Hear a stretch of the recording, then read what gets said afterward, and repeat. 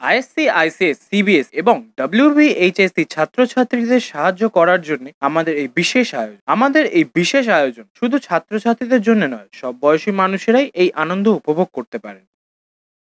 Disclaimer In order to perceive better, tally with the book of the respective boards mentioned to feel better and memorize it. The storytellers room নিবেদিত নরেন্দ্রনাথ মিত্রের লেখা ছোট গল্প। নাম নরেন্দ্রনাথ মিত্র।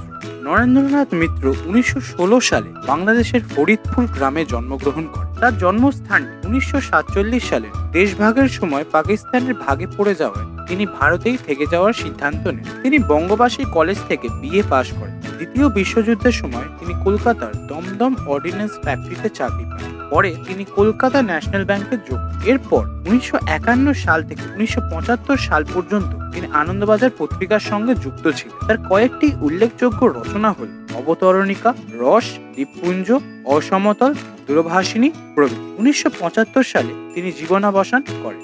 আজ আমরা গল্পটা নিয়েছি আইসিএসি সংকলিতা বইটিতে। প্রধান চরিত্রের গল্পকথক রেশন দোকানদার বিষ্ণু দাস, অসীমের মা কমলা, মিসেস চৌধুরী, মিসেস চৌধুরীর শাশুড়ি এবং অসীম। গল্পের সূত্রধার দেবা, গল্প পাঠে ঋত্বিক শুরু হচ্ছে নাম। রেশনের দোকানের বিষ্ণু দাসই অসীমকে কাজটি ঠিক করে দিলেন। হাউজিং স্টেটে এক ভদ্রমহিলার বাড়িতে কাজ করতে হবে। রেশন ধরা বাজার করা ঘরদোর ঝাড়পোঁছ করা গৃহস্থ বাড়িতে যা যা দরকার হয় সবই করতে হবে অসীমকে। অসীম জিজ্ঞাসা করল জল তোলা বাসন মাজা সেসবও তো আছে বিষ্ণু কাকা? বিষ্ণুবাবু হেসে বললেন আরে না না ওসবের জন্য মিসেস চৌধুরী আলাদা ঠিকে ঝি রেখেছে তোকে ওসব করতে হবে। বেটা ছেলে যা যা করে তুই সেই সব কাজই করবি? জানিস বাড়িতে একটিও ছেলে নেই। ভদ্রলোক দুটি নাবালিকা মেয়ে স্ত্রী আর বুড়ি মা রেখে গেছে। মিসেস চৌধুরী আমাকে কিছুদিন ধরে বলছিলেন কাজকর্মের জন্য একটি বিশ্বাসী ছেড়ে দিতে পারে? তোর কথা আমার মনে পড়ে গেল। তুইও তো কদিন ধরে কাজ কাজ করছিলি। অসীম একটু ইতস্তত করে বলল কিন্তু বিষ্ণু কাকা আমি ভেবেছিলাম কোনো দোকানে টোকানে আপনি আমাকে একটা কাজ ঠিক করে দেবেন। কোনো অফিস টফিসে বিয়ারার কাজ যদি একটা পেতাম। দোকানের সামনে খদ্দেরদের কিউ ক্রমেই লম্বা হচ্ছে। বহু রেশন কার্ড জমা পড়েছে। কর্মব্যস্ত বিষ্ণুবাবু একটু বিরক্ত হয়ে বললেন আমার দোকানে কাজ খালি নেই তোকে তো আগেই বলেছি। আর অফিসে বেয়ারাগিরি পাওয়া আজকাল ভারী কঠিন। আমার যতটুকু সাধ্য আমি করেছি তোর যদি পছন্দ না হয় নিস নে। মনটা একটু খুঁতখুত করছিল অসীমের। শত হলেও বাড়ির চাকরের কাজ, সেও বামুনের ছেলে, ক্লাস সেভেন পর্যন্ত পড়েছে। অসীম ভেবেছিল যা লোকের কাছে বলা যায় এমন একটা কাজই বিষ্ণু কাকা তাকে জুটিয়ে দেবেন। বাবা তো ওর বন্ধু ছিলেন। শহীদ কলোনির বস্তির ঘরে মায়ের কাছে ফিরে এলো অসীম। সব বৃত্তান্ত বলল। কমলা বললেন, কি আর করবি বল? যা পাচ্ছিস, তাই নিয়ে নে।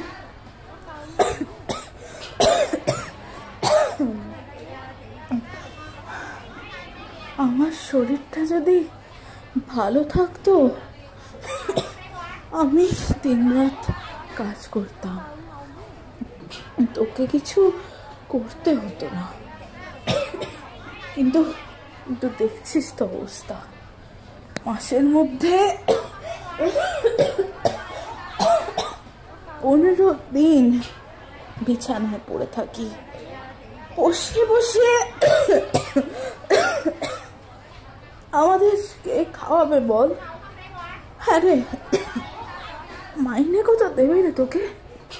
অসীম একটু অভিমানের সুরে বলল আমি জিজ্ঞেস করিনি মা বিষ্ণু কাকা যা ঠিক করে দেবেন তাই হবে। পনেরো বিশ টাকার মতো হবে আর কি। অসীমের অভিমানের কারণ ছিল। ও ভেবেছিল, সমবয়সী ছেলেদের মতো অসীমও স্কুলে পড়তে যাবে। কিন্তু সেভেন থেকে এইটে কিছুতেই উঠতে পারল না অসীম। ফেল করে বসল। স্কুলের হাফ ফ্রি শিফটই কাটা গেল। দু তিন বাড়িতে কাজ করেন মা। কোনো রকমে দিন চলছিল। এখন শক্ত অসুখে ধরেছে। তিনি আর তেমন করে খাটতে পারেন না। তাই বাধ্য হয়ে কাজই নিতে হলো অসীমকে। বিটি রোড সরকারি হাউজিং স্টেটের তিনতলার ফ্ল্যাটে থাকেন মিসেস চৌধুরী। দত্তবাগান থেকে মাইল দেড়েকের মতো রাস্তা। পথটুকু অসীম হেঁটেই গেল। এর চেয়েও কত বেশি রাস্তা সে হাঁটে? মিসেস চৌধুরী তাকে দেখে খুশি হলেন।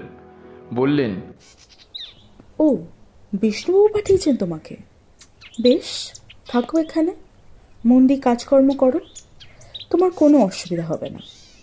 আমাদের এখানে যে থাকে তাকে আমরা বাড়ির ছেলের মতোই রাখি। মাইনের কথা তিনি নিজেই বললেন। বিষ্ণুবাবু কত বলেছেন তোমাকে?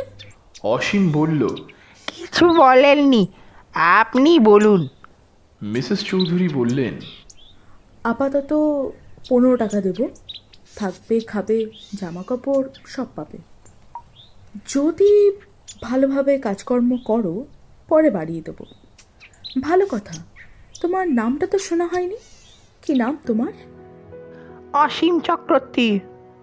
ভদ্রমহিলা একটু গম্ভীর হয়ে রইলেন। আরেকজন বৃদ্ধা পাশেই বসেছিলেন। তিনি কাঁদো কাঁদো ভাবে বললেন না বাবা ও না তুমি বলো না। ও নাম যা ছিল সে আমার বুক ভেঙে দিয়ে চলে গেছে। ও নামে তোমাকে আমরা ডাকতে পারব না। মিসেস চৌধুরী ব্যাপারটা বুঝিয়ে দিলেন। এ বাড়ির যিনি কর্তা ছিলেন তার ছিল এই নাম তিনি তিন মাস আগে মারা গেছেন। বাড়িতে তোমার ডাকনাম টাম কিছু নেই? অসীম বলল না আমার এই একটাই নাম বাবা রেখেছিলেন। গরিব বাবা অকালে মারা গেছেন। কিছুই দিয়ে যেতে পারেননি শুধু একটি নামই দিয়ে গেছেন। মিসেস চৌধুরী তার শাশুড়ির দিকে তাকিয়ে বললেন বলুন তো মা। কি নাম রাখা যায় ওর? শাশুড়ি বললেন রাখতে হলে ঠাকুর দেবতার নামই রাখো না। রাধা গোবিন্দ রাধা গোবিন্দ। আর কত কাল এখানে ফেলে রাখবে ঠাকুর? বৃদ্ধা দীর্ঘশ্বাস ছেড়ে উঠে পড়লেন। মিসেস চৌধুরী বললেন তাহলে তোমার গোবিন্দ নামই থাক কি বলো? ঠাকুর দেবতার নাম হলে অসীমেরও নামটা পছন্দ নয়। কেমন যেন সেকেলে বুড়োটে ধরনের নাম। তবু রাজি হয়ে গেল নাম বদলাতে। চাকরি করতে এসেছে, না রাজি হয়ে উপায় কি? এবারই আচার ব্যবহার সবই ভালো। কাজকর্ম যা তার বরাদ্দ আছে, তা অবশ্য করতে হয়। ভুলচুক হলে মিসেস চৌধুরী তেমন বকেন না, হেসেই তা শুধরে দেন। দুটি মেয়ে মিশনারি স্কুলে পড়ে, তাদের নেওয়ার জন্য গাড়ি আসে স্কুলের। ভারী সুশ্রী মেয়ে দুটি। একটি সেভেনে পড়ে আর একটি ফাইভে স্কুল থেকে ফিরে এসে নিজেরা গল্প করে। কোনোদিন বা পার্কে খেলতে যায়। সপ্তাহে দুদিন করে গানের মাস্টার এসে ওদের গান শোনায়। অসীম দূর থেকে দেখে। তবে কাছে গেলে ওর কথা বলে। তুই বলে না, তুমি বলেই ডাকে। খুবই ভদ্র ব্যবহার। মিসেস চৌধুরী বাড়িতে থাকেন না। সাড়ে নটার আগেই অফিসে বেরিয়ে পড়েন। ফিরতে ফিরতে সন্ধে সাতটা হয়ে যায়। অসীম ওদের ঘর সংসার আগলায়, যেটুকু যা কাজ থাকে করে। বৃদ্ধ ছোট ঠাকুর ঘরটিকে বসে জপ তপ করতেন, ধর্মগ্রন্থ পড়েন। মাঝে মাঝে ক্লান্তিতে ঘুমিয়েও পড়েন। অবশ্য সংসারের দিকে তার লক্ষ্য আছে। অসীম কি করছে না করছে সেদিকে চোখ রাখেন। নাতি নাতনিদের যত্নটুকু হচ্ছে কি না, খোঁজ খবর নেন। অবসর সময় অসীম এ ঘরে ও ঘরে জিনিসপত্র দেখে। আলমারি ভরা কত বই, সব বাঁধানো। সোনার জলে নাম লেখা। ইংরেজি বইগুলোতে লেখা ইংরেজি অক্ষরে এ কে চৌধুরী। বাংলা বইগুলিতে অসীম কুমার চৌধুরী। এছাড়া তার ছোট বড় ফটো দেওয়ালে দেওয়ালে টাঙানো। গ্রুপ ফটো আছে, অফিসে ফেয়ারওয়েলের ফটো আছে। ভদ্রলোকের আরও কত রকমের কত জিনিসপত্র সেতার বাজাতেন রঙিন ঢাকনিতে ঢাকা সেই সেতারটি আছে। শিকারের শখ ছিল, নিজের হাতে মারা হরিণের শিং আছে। অভিনয় করতে পারতেন, রাজার পোশাক পরা ছবি আছে অ্যালবামে। ওর মেয়েরা সেদিন দেখাচ্ছিল। অসীমের নামে নাম এই ভদ্রলোকের কত গুণ ছিল। কত জিনিসপত্র রেখে গেছেন। অসীম অবাক হয়ে ভাবে, তার জীবনটা কী রকম হবে কে জানে। কোনোদিন কি তার উন্নতি হবে? দশ জনের একজন কি সে হতে পারবে? নাকি এইভাবে লোকের বাড়িতে কাজ করেই দিন কেটে যাবে? পড়াশোনায় তার আগ্রহের কথা শুনে মিসেস চৌধুরী বলেন একটা নাইট স্কুলে তার পড়বার ব্যবস্থা করে দেবেন। অসীম জিজ্ঞাসা করেছিল কবে দেবেন মা? দিন তো চলে যাচ্ছে। মিসেস চৌধুরী বলেন যাক কিছুদিন এই তো সবে চাকরিতে ঢুকলেন সেদিন মিসেস চৌধুরীর অফিস ছুটি। বিকালবেলায় একজন ভদ্রলোক আর মহিলা এসেছেন তার সঙ্গে দেখা করতে। হঠাৎ ডাকলেন। গোবিন্দ? গোবিন্দ? অসীম ওদের জন্যই চা আর খাবার তৈরির কাজে ব্যস্ত ছিল। সাড়া দিতে ভুলে গেল। মাঝে মাঝে কেমন যেন সে হন্য মনস্ক হয়ে পড়ে। মিসেস চৌধুরী এসে বললেন কে ডাকছি শুনতে পাচ্ছিস নে? প্রায় দেখি ডাকলে সাড়া দিস নে এ কি অসভ্যতা? অসীম বলল খেয়াল থাকে না মা এটা তো আমার আসল নাম নয় বানানো নাম। সব সময় মনে রাখতে পারি নে মিসেস চৌধুরী বললেন আরে স্পর্ধা তো মুখে মুখে জবাব দিতে শিখেছিস। যিনি বকেন না তার বকনিতে বড় দুঃখ হয়। অসীম কাজকর্ম করল কিন্তু সারাক্ষণ মুখ ভার করে রইল। রাত্রে সবার খাওয়া হলে নিজে সামান্য কিছু খেয়ে শুয়ে পড়ল। পরদিন দুপুরে নিপা দীপাদের ঠাকুরমা বললেন হ্যাঁ রে অমন মুখ করে আছিস কেন রে? তোকে তো কেউ কিছু বলে না।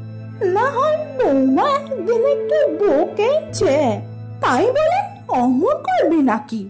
অসীম চুপ করে রইল। মেয়েরা স্কুলে গেছে। মিসেস চৌধুরী অফিসে বেরিয়েছেন। সারা বাড়িতে আর কোনো সারা শব্দ নেই। বুড়ি ঠাকুরমার অসীমের সঙ্গে বোধহয় একটু গল্প করতে ইচ্ছা হলো। তিনি বললেন হ্যাঁ রে গোবিন্দ একদিন দুদিন অন্তর অন্তর কোথায় চাষ বলতো? পাড়ার ওই ছেলেটা সাইকেল নিয়ে একেবারে উধাও হয়ে যাস। আর তো সারা সপ্তাহে পাওয়া যায় না। অসীম বলল মার কাছে যাই ঠাকুরমা একবার করে দেখে আসি। আর আর কি? অসীম বলল আর মা বারবার আমাকে নাম ধরে ডাকেন আমি শুনি। বৃদ্ধা চুপ করে রইলেন। তারপর ধীরে ধীরে বললেন আচ্ছা তুই আর আমি যখন একা একা থাকব আমিও তোকে ওই নাম ধরেই ডাকবো। ওর নাম যে আমার বুকের মধ্যে সব সময় আছে রে। শুধু মুখে আনতে পারিনি। তার দুই চোখ ছলছল করে উঠল। অসীম কোনো কথা বলল না। শুধু তার দিকে আরও একটু এগিয়ে বসল।